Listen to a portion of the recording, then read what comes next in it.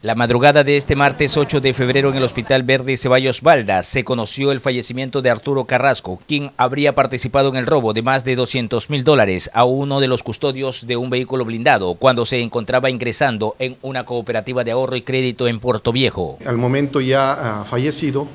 eh, con producto de un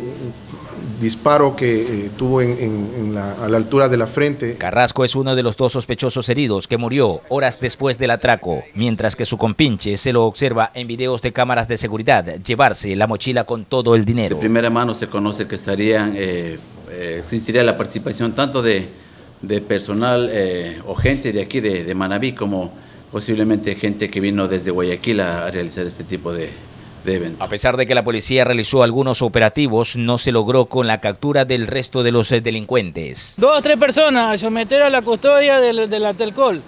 y ahí se llevaron el maletín. Hasta el momento, la policía confirma que en el asalto encontraron como evidencia dos pistolas y un revólver, cuatro vainas percutidas, dos balas deformadas, un fusil recuperado que pertenece a uno de los custodios y una motocicleta que se encontraba reportada como robada. Los agentes policiales esperan dar con la captura de esta banda delictiva, ya que están plenamente identificados por videos de cámaras de seguridad en el sector donde realizaron el atraco. Desde la provincia de Manabí informó Marcelo Ruiz, TC Televisión.